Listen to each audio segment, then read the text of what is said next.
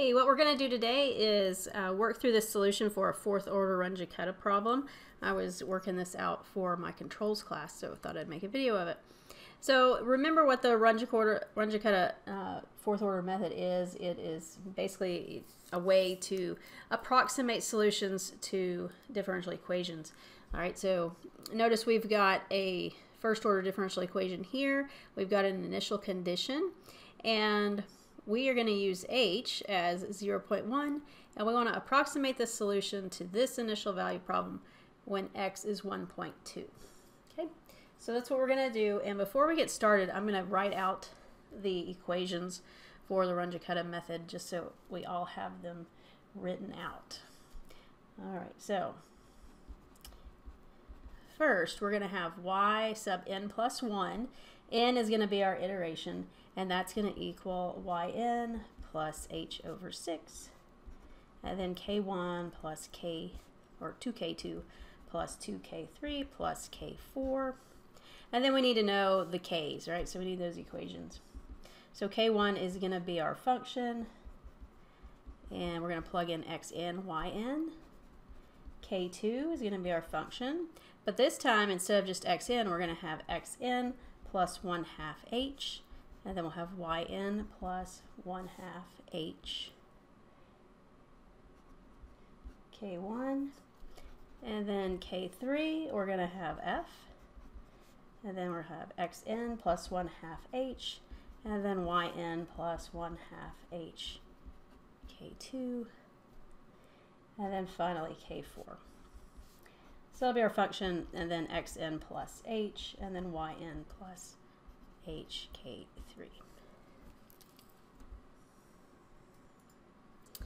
Okay, so let's look at see what we have. So first of all, we're going to start at n equals 0. That'll be our first iteration. All right, so let's let's set n equal to 0. All right, and then let's look up here and see what all we need. So we need y sub 0, right? So our initial y. Okay, well that's going to come from right here okay, because this is our initial condition. So y0 is going to equal 1. And then if you look down for k1, I need x sub 0, right? So that's your initial x. Well, this is really y of x equals 1, right? So that means this 1 is our initial x, okay? So now we've got those two things. h was given as um, 0.1, so we don't really have to find that. So now we're ready to go ahead and start working. All right, and this is already in the form that we need. Okay, so let's go ahead and start calculating our k values. All right, so for k1, remember n is 0 here. k1 then is going to be our function, and we're going to plug in x0, y0. So our function is 2xy y, right? So let's put that over here. So that means we're going to have 2. I need x0, which is 1, y0, which is 1. So that gives me 2, right? Now let's, you know, this, I don't know why I'm writing this. That's still n equals 0. Let's go to k2. All right, so k2, we're still going to have our function. Now we're going to have x0 plus 1 half times h. And then we're going to have y0 plus 1 half hk1. So now let's plug those in. Our function, remember, is 2xy. So we have 2. Everywhere we have x, we're going to plug in x naught plus 1 half h. Okay, so that means x naught is 1 plus 1 half h. h is 0.1. Now for the y term, I'm going to do y naught plus 1 half h k1 and then we'll just multiply here because this is just x times y. So y naught is 1 plus 1 half h, so 0.1, and then times k1. Well, k1 was 2, right? So now we have that. And then you go through and do this calculation. So let me calculate that and then see what it is. Okay, so that right there you can see is 2.31. Right, so that's what this is going to equal.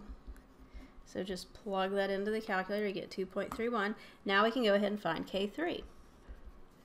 All right, so now we need our function. n is still 0, right? That hasn't changed. We're still in the first iteration. So we're going to have x naught, or x0, plus 1 half h, and then y0 plus 1 half h k2.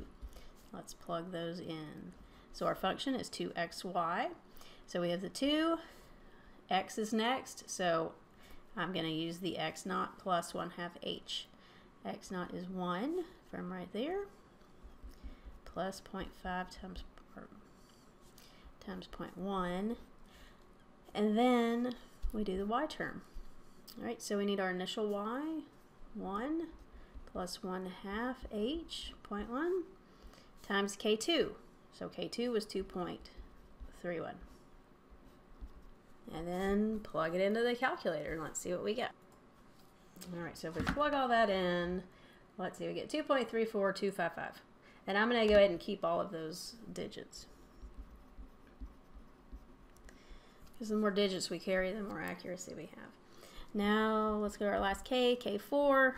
Let's write it out. We're going to have our function. We're going to have x naught plus h, and then y naught plus h, k3. Okay, so we're going to have 2 times the x. So now it's x naught plus h. So x naught is 1, h is 0.1.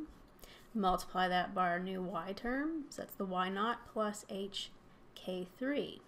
y naught is 1, h is 0.1, and then k3, well, that's that number we just wrote down. So 2.34255. And then let's calculate that one. Okay, so that one we get 2.71536.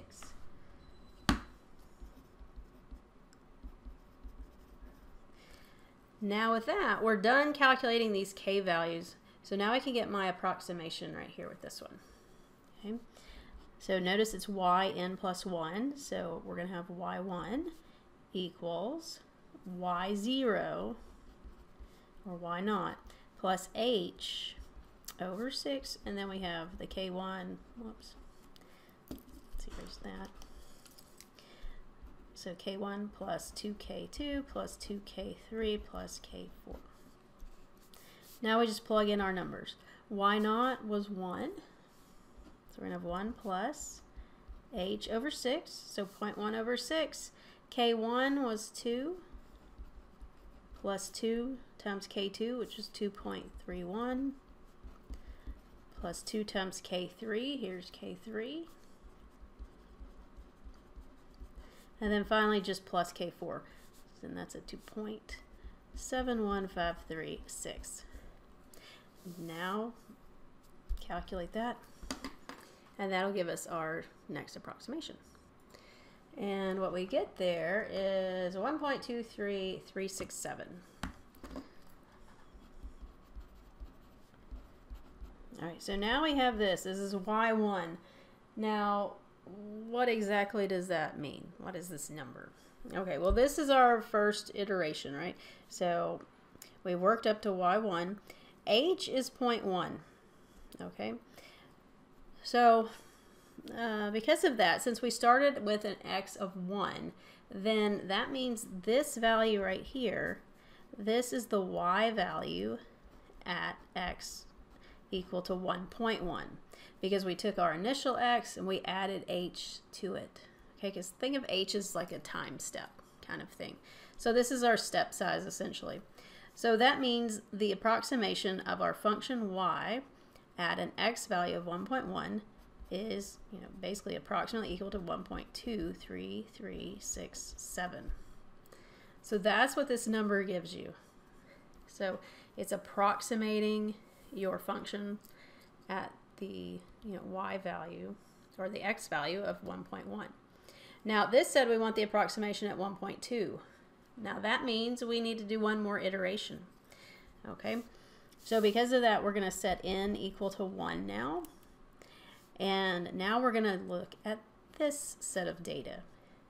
Okay, so instead of using the 1 and the 1 that we were using before, now we're going to switch over to these numbers right here. All right, so x1 is 1.1, y1 is 1.23367. Okay, and then we do the same exact process we did up here, except for now we're using these numbers. Okay, so let's go ahead, get K1. All right, so now we have the function. Now we're using x1 and y1. Right, our function is still 2xy. We're going to have 2 times x1, which is 1.1, and then times y1. So 1.23367. And let's calculate that. All right, so that is 2.71407. We have that. Now let's go to K2. Same thing, right? Same equations, but now instead of the n subscript or the zero subscript, we're going to have 1, right? So now we have the function, and then we have x1 plus 1 half h y1 plus 1 half hk1. Right, so here's our function. So 2 times the x term. So that's going to be x1, which is 1.1, plus 1 half times h. h is 0.1 still. And then we go to the y term. So here's our y1, plus 1 half h, and then k1. K1 is this value now. So 2.71407. And let's see what that gives us. Okay, so that one is 3.14956. Moving on to K3. So here's the equation, right? So we just need to change out the subscript, right? Because we have the n here. So we're going to have x1 plus 1 half h, and then y1 plus 1 half h k2. So 2, and then times 1.1 plus 1 half times 0.1. And then for the y term, we got y1, so 1.23367 plus 1 half times 0.1 times k2. And then your K2 is that 3.1496 number. Let's see what that gives. Okay, so we have 3.19964. Okay, right there. That's what we get for that. One more K value up here. So we got our function. Now we need x1 plus h. And then y1 plus hk3. All right, so 2 and then 1.1 plus 0.1 and then our y term will be 1.23367 plus 0.1 times K3 which is that 3.19964 okay our last K that last K value is 3.72872 now let's get our approximation so we're going to use this y equation n is 1 still. So we have n plus 1, so that gives us uh, y2. And then that equals y1 plus h over 6. And then your k1 plus 2k2 plus 2k3 plus k4. And then plug in the values. Y1 is the 1.23367 plus 0.1 over 6. And now let's plug in the k values.